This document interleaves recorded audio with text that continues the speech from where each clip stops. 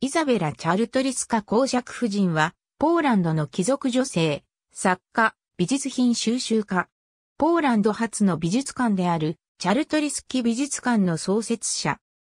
ポモージ県知事を務めたイェジー・デトロフ・フレミング伯爵と有力政治家の一人、ミハウ・フリデリク・チャルトリスキ公爵の娘アントニナとの間に生まれ、1761年11月18日に、防鎮で母の重帝にあたるアダム・カジミエシュ・チャルトリスキ公爵と結婚した。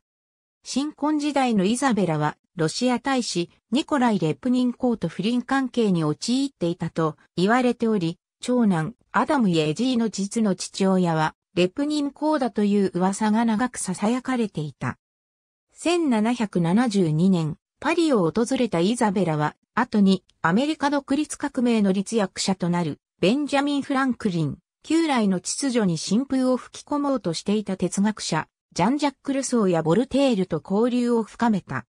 1775年には、夫と協力し、プワビにある指定チャルトリスキ宮殿を知的かつ政治的な社交上に変貌させた。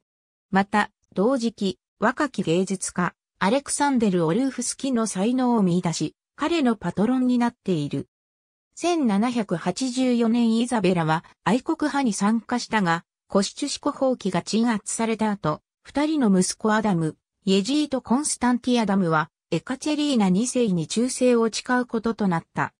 1796年、彼女は、動乱期に破壊されたプワビの宮殿を再建して、美術館を開くことを決めた。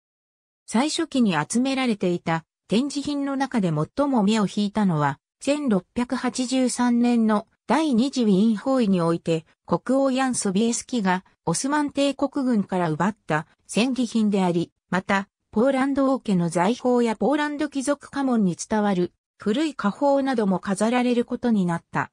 1801年、この美術館はポーランド最初の美術館として開かれ、イザベラはここを記憶の神殿と名付けた。